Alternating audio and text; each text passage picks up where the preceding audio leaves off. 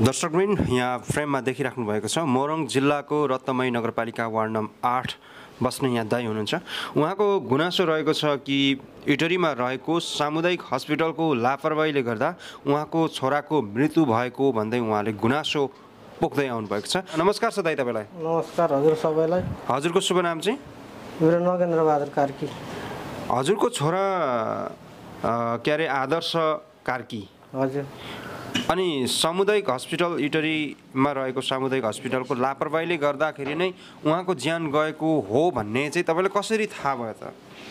मैले राम्ररी स्पष्ट रूपमा भन्नुपर्दा सर तपाईँलाई तन्दुरुस्तै गएको त्यहाँ गएर सुरुमा सुरुमा चाहिँ तपाईँको सुरुमा छोरा चाहिँ त्यहाँ डक्टरले चाहिँ अनि तपाईँको छोरा सुरुमा तन्दुरुस्त हिँड्दै नै अस्पताल जानुभएको?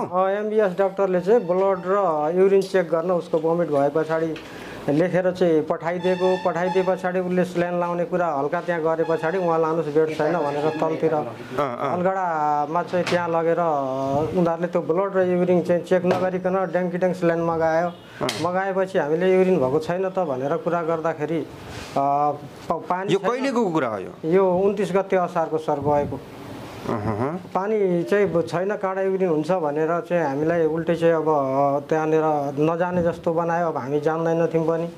त्यस पछाडि अनि पाँच सात घन्टा राखेर दस बदल स्लाइन लगाइसके पछाडि उसले यहाँ घोत्न थाल्यो भन्यो राम्ररी गएको प्रेसर झुन्याउँदा राम्रै थियो लास्टमा गएर अनि प्रेसर सेसर डाउन हुँदै गएपछि अक्सिजन लाएर एकदम सिरियस भइसके पछाडि यहाँ हुँदैन लानुहोस् भनेर चाहिँ टाइम वेस्ट गराएर जस्तो तपाईँको छोरा सुरुमा हिँड्दै हस्पिटल जानुभएको। सिटीबाट गाटोसम्म गएको र सिटीबाट ओर्लेर हस्पिटलभित्र आफै हिँड्दै गएको। अनि त्यस पछाडि उहाँ के अरे हस्पिटल पुगेपछि चाहिँ उहाँको खास समस्या चाहिँ के भएको रहेछ? सुरुमा चाहिँ दुई तिनचोटि घरमा पोइन्ट भए पछाडि हस्पिटल गयो अन्त हस्पिटलले चाहिँ के समस्या भएको छ? के भन्थ्यो त्यति बेला? केही पनि नभने उसले स्लाइन लगाइदियो उसले चाहिँ जुन डक्टरले चाहिँ चेक गर्न भनेर पठाएको नगरिकन उनीहरूले स्लाइन मात्रै मागेर ड्युटीको डक्टरले हानिराख्यो। हानेपछि बिर विराट नर्सिङ होम लग्यो। त्यहाँ लगेपछि अब यहाँ सबै फोक्सो किडनीहरू सबैमा पानी चाहिँ शरीरभरि ओभर पानी भएको थियो यसरी फुलेको ट्याङ ट्याङ बज्दै थियो पेटमा। अनि हुन गाह्रो छ भनिहाल्यो। त्यस पछाडि बयालिस बिस दिन त्यहाँ राखेर अनि काठमाडौँ लगेँ। अनि म त्यही उपचारको दौडानमा जाँदा जाँदै अब मेरो काजक्रिया तिर्पल लाग्यो लागेपछि कहाँ वीर अस्पतालमा चाहिँ अब मसँग अब प्रमाणिक कुराहरू त अब छैन सर। त्यहाँनिर फर्स्टमा बिग्रियो भन्ने कुरा त्यहाँको डक्टरले एकचोटि गरे हो। अनि गरे वीर हस्पिटलको डक्टरले चाहिँ सुरुको जुन सामुदायिक हस्पिटल छ त्यसको लापरवाही नै भएको भनेन सर उसले चाहिँ उसले जहाँ लगेको थियो फर्स्ट सुरुमा? फर्स्टमा बिग्रियो। बिग्रे पछाडि चाहिँ त्यहाँनिर अब के हुन्छ हेरौँ भनिराख्यो भनी यस्तो यस्तो भयो सर यहाँबाट चाहिँ यसरी चाहिँ मेरो फर्स्टमा मेरो छोराको उपचार यहाँबाट चाहिँ यसो भयो हस्पिटलले नि यसो भन्यो भनेर अनि कुराहरू हामीले मेरो मान्छेहरू लगेर कुरा गर्दै गयौँ अनि उसले भोलि पर्सि भन्यो अनि ड्युटीमा राखेको नर्स र डक्टर खोइ त भन्दाखेरि राज्य कहाँ कहाँ कहाँको डक्टर? सामुदायिक हस्पिटलमा। तपाईँ फेरि आउनुभयो काठमाडौँबाट? काठमाडौँबाट बितिसके पछाडि त्यहाँ छोरा बितिसकेपछि कम्प्लेन गर्न गयौँ काजक्रिया सके पछाडि। हजुर हजुर। कम्प्लेन गर्न जाँदाखेरि उहाँहरू चाहिँ थाहा छैन डेढ महिना भयो। उनीहरू राजीनामा दिएर कहाँ गएको हो भनेर उनीहरूले देखाउन पनि चाहेनन् उनीहरूसँग भेटाउन पनि चाहेनन्। अनि ल प्राविधिकलाई बोलाएर प्रशासनले ल कुरा गरौँ न त भन्दा जो डक्टर साहब हुनुहुन्थ्यो त्यहाँबाट लास्टमा चाहिँ फाइनल गरेर पठाउने। उहाँले चाहिँ अनि हाम्रो हस्पिटलबाट मैले गल्ती भन्दा पनि हाम्रो टिमबाट गल्ती भएकै हो। त्यसको लागि यो यो कुरा चाहिँ कुन? सामुदायिक अस्पतालले स्वीकारेको नै? स्वीकारेको। हाम्रो टिमबाट गल्ती कमजोरी भएकै हो। यसको लागि हामीले चाहिँ क्षमा माग्नै पर्छ। भन्ने कुरा भए पछाडि उहाँ जानुभयो र प्रशासनसँग मैले कुरा गरेँ। के छ तपाईँहरूको त प्रशासनको कुरा सुन्नुभयो ए प्राविधिकको कुरा सुन्नुभयो? के भन्नुहुन्छ त अब हस्पिटलले भन्दाखेरि? प्रशासनले उहाँनिर चाहिँ हुनुहुन्थ्यो टङ्क दुलाल भन्ने उहाँ चाहिँ नि प्रशासनको भन्नुहुन्थ्यो। हजुर हजुर। उहाँले चाहिँ अनि के छ तपाईँको माग भने पछाडि? मेरो माग भनेको अब पचास साठी लाख रुपियाँ पैसा मेरो खर्च भएको छ। अब यसबारेमा त हस्पिटलले के दिन सक्नुहुन्छ त भन्दा सक्दैन भन्नुभयो। त्यसो भएदेखि अब मैले अहिले केही निर्णय गर्न सक्दिनँ। म अर्को दिन डिसिजन गर्छु। भने पछाडि अर्कै दिन मैले अरू साथीहरूलाई बोलाएर अब मैले के डिसिजन गर्ने त? अब मैले तत्काल आफ्नो डिसिजन भएन। अनि अनि होइन त्यतिखेर चाहिँ तपाईँको छोरा जुन तपाईँ तपाईँको छोरा चाहिँ काठमाडौँ हब्बीर अस्पतालमा उहाँको निधन भयो। निधन भइसके पछाडि काजक्रिया गरिसके पछाडि त्यहाँ आएर चाहिँ क- यहाँबाट बिग्रियो भन्ने कुरा भएपछि मैले गएर कम्प्लेन गर्दा यो कुराहरू भएको छ। अनि त्यहाँ भएपछि चाहिँ उनीहरूले चाहिँ के क्षतिपूर्ति दिने अथवा के गर्ने कसो के छ माग भनेर उहाँहरूले सोद्धा ए अँ सुरुमा उहाँहरूले के छ माग पनि भन्नुभयो। त्यो प्राविधिकसँग कुरा भयो अरे डक्टर बोलाएर कुरा भयो अरे कमजोरी भएको कुरा प्राविधिकले स्वीकारिसके पछाडि ल अहिले मैले भने प्राविधिकको कुरा त सुन्नुभयो। हजुर। अब के भन्नुहुन्छ भन्छ त हस्पिटल यसबारेमा प्रशासन भनेर मैले कुरा गर्दा टङ्का दुलाल भन्ने उहाँले चाहिँ मलाई दुई तिनचोटिसम्म आउनुहोस् आउनुहोस् भन्दै बोलाउँदै अनि यसबारेमा कुरा गर्दै बढ्दै गयो। गएपछि लास्टमा चाहिँ अब मेरो के छ तपाईँको माग भन्नुभयो उहाँले? मैले अब मेरो व्यक्तिगत माग सुरुमा मैले भन्न सकिनँ मैले आफै डिसिजन गर्न सकिनँ। अब के माग्ने? छोरा छैन के माग्ने सर मैले? माग्दाखेरि ल। उसले सुरुमा रतमाईको नगरपालिका आठ नम्बरबाट चाहिँ जिल्ला स्तरीय परीक्षा जुन स्कुलबाट पास गरेर आएको थियो। मैले के सोचेँ भने मेरो छोरा जहाँ पढेर आयो एकदम ट्यालेन्ट धरानमा चाहिँ तपाईँको ब्याचलर पढ्दै थियो आइटी। अनि त्यसपछि कति वर्षको हो तपाईँको छोरा? एक्काइस वर्षको। अनि त्यस पछाडि एउटा एकदम ट्यालेन्ट विद्यार्थीलाई पढ्ने खर्च पढाइदेऊ डक्टर पढाइदेऊ। मेरो छोरा म रतमाईमा त्यहीँ हेर्छु। मलाई एउटा सन्तोक हुन्छ भनेर मैले कुरा गर्दाखेरि हुन्छ भनेर स्वीकार्योरी निवेदन शुद्ध लेख्न लगायोरी उहाँहरूले गरिसके पछाडि आज उहाँहरूले निवेदन पनि लेख्नु लाउनु भयो लेख्न लाएर उनीहरूले उहाँहरूले नि लेखेर मलाई यहाँ सही गरे भनेर। निवेदन चाहिँ के विषयमा तपाईँले त्यो अक्षय कोषको बारेमा चाहिँ दिने भन्ने कुरामा चाहिँ पाउँ भनेर लेखेर मलाई सही गर्न लाउनु भयो जस्तो कि त्यति बेला तपाईँले एउटा अक्षय कोष खडा गर्ने। भनेर चाहिँ उहाँहरूलाई भन्नुभयो। त्यही त्यही विषयमा चाहिँ उहाँहरूले निवेदन लेख्नुहोस् पनि भन्नुभयो। निवेदन उहाँहरूले नै लेखेर मलाई सही गर्न लाउनु भयो ए हजुर हजुर गरेर मैले दिएँ त्यस पछाडि अनि भोलि आउनु पर्सि आउनु भन्दै भन्दै आजसम्म एक वर्ष त्यो अक्षय कोष भयो त? त्यसलाई त अब खै के भन्छ सर? त्यस पछाडि उहाँहरूसँग कन्ट्याक्ट बिन हुन थाले पछाडि मैले चाहिँ अनि धेरै ठाउँमा कुरा गर्दै गएँ। परिवारसँग म कहिले काहीँ सर डिप्रेसन जस्तो हुन्छ। अब एउटा छोरा चाहिँ नि अब त्यत्रो भाइ पढायो अनि यत्रो ऋण छ त्यही पढाएको त्यसपछि दबाई गर्यो। अँ, अब दबाई गरेको ऋण तिर्नलाई अब ऊ मरिमरि काम गरिरहेको छ ठुलो चाहिँ। विदेश गएर कति अहिले तिरिसक्नु त्यो भाइको पचास लाख रुपियाँ। अनि जस्तो सुन्नुहोस् न तपाईँको छोराको चाहिँ सामुदायिक अस्पतालको लापरवाहीले गर्दाखेरि मृत्यु भएको हो भन्ने कुरो चाहिँ तपाईँले वीर अस्पतालमा थाहा पाउनु भयो होइन त्यस पछाडि आउनुभयो त उसमा? होइन किन अस्पतालमा भनेको थियो काजक्रिया गर्यो त्यहाँ डेट भइसकेपछि। काजक्रिया गरे पछाडि यहाँनिर कुरा राखेपछि उहाँहरूले कमजोरी भएको कुरा सबै स्वीकार। समन्वय भइसकेको हो। सामुदायिकले पनि स्वीकारेको तपाईँले सोध्नु भएन त्यो सुरुमा जुन तपाईँको छोरालाई चेक गर्ने डक्टर नर्सहरू हुनुहुन्छ होइन?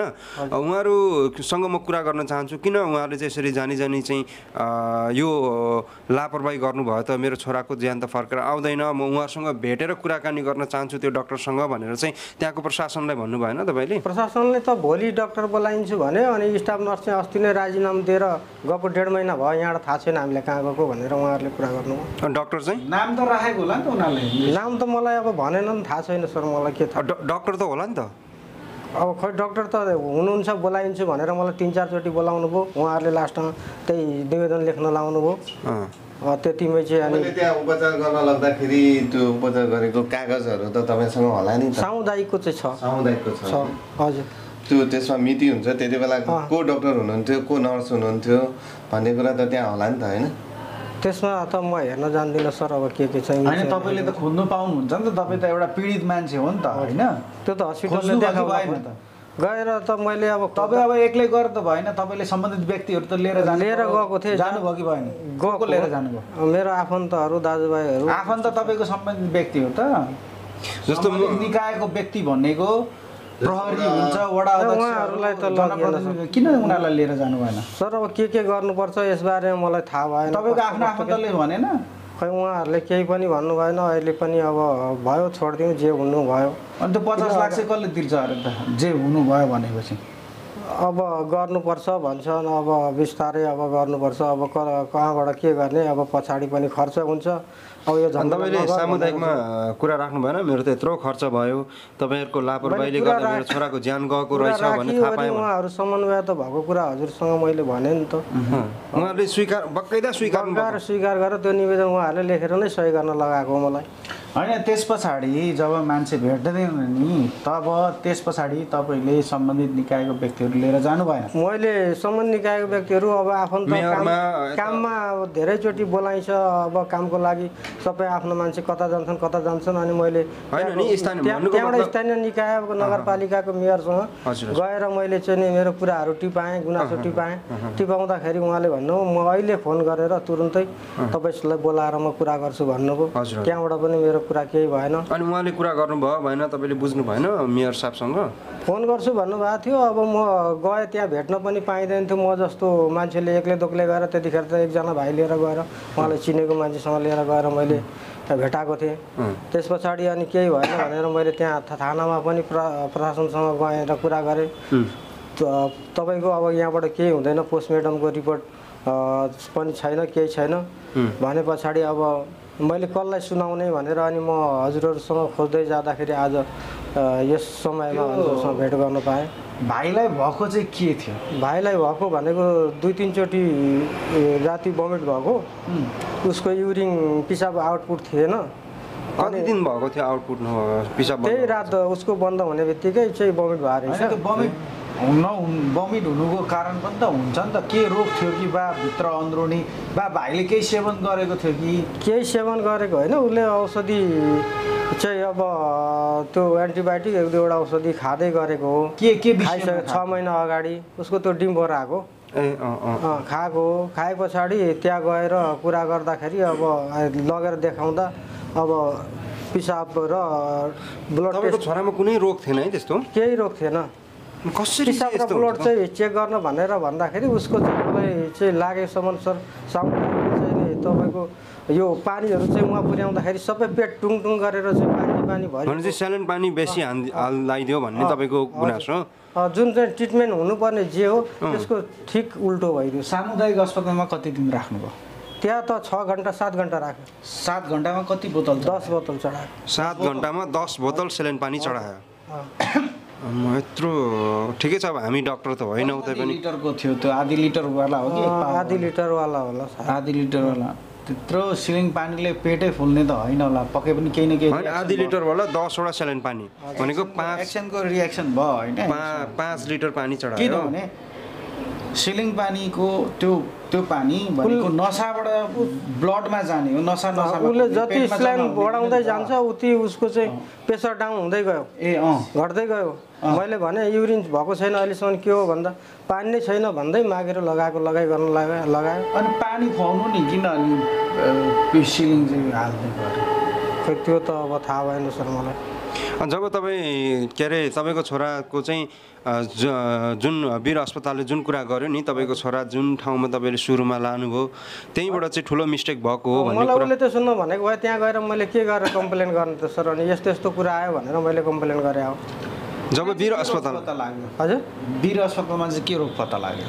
उसको चाहिँ अर्ग्यानहरू सबै चाहिँ ब्लडहरू इन्फेक्सन भइसकेको थियो। यहीँबाट चाहिँ नि त्यस्तै भइसकेपछि उसको इन्फेक्सन त थियो नै। इन्फेक्सन पछाडि चाहिँ जुन इन्फेक्सनको औषधि दिनुपर्नेमा अरू चाहिँ उल्टो भइदियो। जो समग्र भन्दाखेरि सामुदायिक अस्पतालको त्यो सिलिङ पानीले डोज बढी भएर मानिसको त्यो तपाईँको छोराको अर्गनहरू सब ड्यामेज भइदियो स्लेनले नै भन्नुभन्दा पनि मलाई चाहिँ सात घन्टा त्यहाँ वेट गराइदियो नि त सर। मैले चाहिँ सुरुमै पठाइदिएको भए त मैले उपचार गर्न पाउँथेँ। अनि उहाँहरूले चाहिँ जुन पिसाब र युरिनको युरिन र ब्लडको चाहिँ टेस्ट भनेर डक्टरले एमबिएस डक्टरले चेक गर्नु भनेर पठाएको बिरामी। एकैचोटि त्यो चेकै नगरिकन लगाइदिएको लगाइदिएको। पिसाब चेक गर्न भनेर डक्टरले भन्यो तर डाइरेक्ट सेलेन पानी लग- लगाएको लगाएको लगाएको लगाएको। त्यो चेकै भएन लास्ट जब उसको अन्तिम स्थिति भयो त्यस पछाडि चाहिँ अनि ब्लड चेक गरेर अनि ल लानु भनेर पठायो। इमर्जेन्सीमा लगेको इमर्जेन्सीमा भाइ बस्नु चाहिँ कहाँ बस्थ्यो इटरी बस्थ्यो धरान टेक्निकल स्कुल सुनसरी टेक्निकलमा पढ्दै थियो। हो, अनि इमर्जेन्सीमा लानु भन्ने के? उहाँ अब उता हिँड्दै गएको मान्छे त्यस्तो त थिएन होला इमर्जेन्सीमा लानुपर्ने? इमर्जेन्सीमा चाहिँ अब त्यो सिलिन्डर लगाउने तुरुन्तै सर्ट टाइमको लागि अब घुराइहाल्ने भनेर केही छैन। त्यस्तो भनेको र डक्टरले पठाएको हो। त्यहाँबाट बेड नभएपछि त्यहाँ लगेर। अनि जब त्यो वीर अस्पतालको कुराहरू चाहिँ तपाईँले यता सामुदायिकलाई सुनाउँदाखेरि सामुदायिकले चाहिँ के भन्यो तपाईँलाई? सामुदायिकलाई सुनाउँदाखेरि यस्तो यस्तो भएको यहीँबाट हो मेरो छोराको चाहिँ ट्रिटमेन्ट यसरी बिग्रेको राम्ररी आएको। अनि अक्सिजन प्रेसर पनि राम्रो थियो अक्सिजन चाहिँ तपाईँहरूको स्लेन लगाएपछि घट्न थाल्यो। यस्तै कुराहरू गर्दै गएपछि अनि त्यहाँ धेरै लामो वेटिङ भएको कुराहरू गरेपछि। उहाँहरूले नै चाहिँ तैँले चाहिँ लान नखोजेको अनि यत्रो ढिलो गरेर चाहिँ किन राखेको भन्दै मलाई सुरुमा त गाली गर्नुभयो अब डक्टरले चाहिँ अब नभनुन्जेल हुन्छ नभनुन्जेल अब हामीले कसरी लाने लानु भन्नु पऱ्यो नि त। के गर्नु त सर अब लानु कि के गर्नु भन्दाखेरि पनि अब औषधि मगाइरहने दबाई मगाइरहने लगाइरहने गरेपछि अनि कसरी लाने त मैले? अनि अनि जस्तो तपाईँको छोराको मृत्यु भएको त लगभग असारको भनेपछि लगभग निकै समय भइसक्यो होइन? अनि यतिको समयसम्म त तपाईँलाई थाहा भयो कि अब म अन्यायमा परेँ। जब वीर अस्पतालको कुराले गर्दाखेरि तपाईँ चाहिँ अब अलिकति अन्यायमा परेँ भन्ने खालको महसुस भयो तपाईँलाई।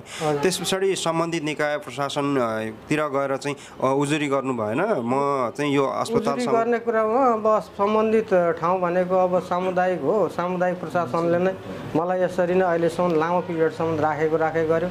गरिसके पछाडि आश्वासन दिएर राखेर अहिले चाहिँ कतै केही पनि अब पुरानो भयो नयाँ हुन्जेल त सुरुमा बिरामी हुँदा सबैले साथ दिए हो। जति जे जे गर्नुपर्छ। अब मान्छे नै सकिसक्यो। अब कसले मेरो कुरा सुन्ने सर? कसैले पनि सुन्दैन। उनीहरूले चाहिँ के सुरुमा के छ माग भनेर पनि सोध्यो। अब गल्ती भइहाल्यो माग के छ भनेर सोध्यो। गल्ती भएर प्राविधिकले डक्टरले जुन डक्टरले त्यहाँ रिफर गरेर पठाएको थियो त्यो डक्टरले हामीसँग यसको लागि हाम्रो टिमबाट सरी भने हो र त्यो उनीहरू गएपछि ल प्राविधिकको कुरा सुन्नुभयो यस बारेमा प्रशासन के भन्छ भन्दाखेरि के छ त तपाईँको माग? भन्दाखेरि अब मैले हजुरलाई अघि दोहोऱ्याएकै कुराहरू तपाईँले चाहिँ के माग गर्नुभयो त्यति बेला? मैले माग लास्ट चढेको तिनचोटिको पालीमा मैले माग भनेको त्यही अक्षय कोषको कुराहरू उठाएँ। अक्षय कोष उठा अक्षय कोष खडा गरेर चाहिँ के गर्ने सोच तपाईँको? अक्षय खोज खडा गरेर त्यहाँबाट चाहिँ एउटा छात्रवृत्ति चाहिँ देऊ बनाइदियो एउटा राम्रो मेरो छोरा धेरै ट्यालेन्ट विद्यार्थी हो। त्यस्तै ट्यालेन्ट विद्यार्थीलाई त्य- त्यस्तै पढाइदियो मैले भने त्यो भयो कि भएन त? मेरो कुरै सु छैन सर त्यहाँनिर मैले त भने त नगरपालिकामा नै कुरा राखेँ।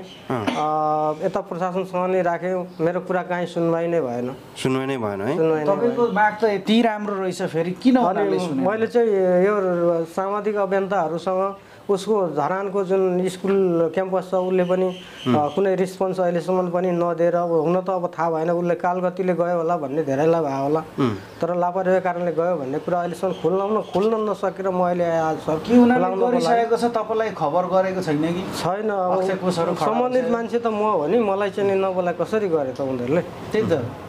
ठिकै छ। अनि मैले चाहिँ मेरो कुरा चाहिँ मैले त्यो रवि लामी छानेको उसमा पनि एकचोटि म्यासेज पनि गरेँ। अनि अरू मिडियाहरूलाई पनि मैले त्यतिखेरदेखि फोन गर्दै आएको हुँ। आज मात्रै हजुरहरूसँग मेरो चाहिँ बोल्न पाएँ कन्ट्याक्ट तपाईँको छोरा सबैलाई यो भयो कि कालगतिले उहाँको निधन भयो भन्ने भयो। तर तपाईँलाई चाहिँ थाहा छ मजाले कि अस्पताल सामुदायिक अस्पतालको लापरवाहीले गर्दाखेरि छोराको ज्यान गएको भन्ने चाहिँ तपाईँलाई प्रष्टसँग थाहा छ। प्रष्ट थाहा छ होइन मैले प्रष्ट भन्नुभन्दा पनि उहाँहरूले चाहिँ कि त्यतिखेरै मलाई चाहिँ नि गल्ती भएको छैन भन्नु पऱ्यो नि त। भन्नु पर्थ्यो तर उहाँहरूले स्वीकार्नु भएको छ? प्राविधिकले नै चाहिँ अब माफी भएको र अनि गल्ती भएको भन्ने कुराहरू चाहिँ नि भयो भनेर माफी मागिसकेपछि डक्टर स्वयं जसले पठाएको उहाँले त्यहाँ मैले हजुरलाई भिडियो पनि देखाएँ त्यहाँ डक्टरको भिडियो छ। हजुर हजुर। अँ, उहाँले भनेपछि प्रशासनले त्यो कुरा गरिवरि सकेर छोड्या हो।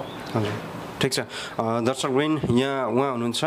चाहिँ के अरे रत्वमै नगरपालिका वार्ड नम्बर आठ निवासी। के पो हजुरको नाम त? मेरो नगेन्द्र बहादुर कार्की। नरेन्द्र बहादुर कार्की होइन? उहाँको छोरा चाहिँ हुनुहुन्छ आदर्श कार्की र उहाँको गुनासो रहेको छ कि सामुदायिक अस्पताल इटरीमा रहेको सामुदायिक अस्पतालको लापरवाहीले गर्दाखेरि छोराको मृत्यु भएको भन्दै उहाँले गुनासो राख्नुभएको छ। दर्शकबिन तपाईँलाई लागेको जिज्ञासा तपाईँको स्वतन्त्र विचार कमेन्टमा छोड्नु होला चाहिँ यस अभियानमा चाहिँ मैले चाहिँ आजसम्म सम्पूर्ण मेरा चाहिँ सामाजिक अभियन्ता र सङ्घ संस्थाहरू र मेरो छोराको कलेजदेखि लिएर सबैलाई चाहिँ नि गुमराहमा पर्नु भएको होला भ्रममा पर्नु भएको होला र मेरो ठाउँको चाहिँ सांसद हुनुहुन्छ ऋषिकेश पोखरेल।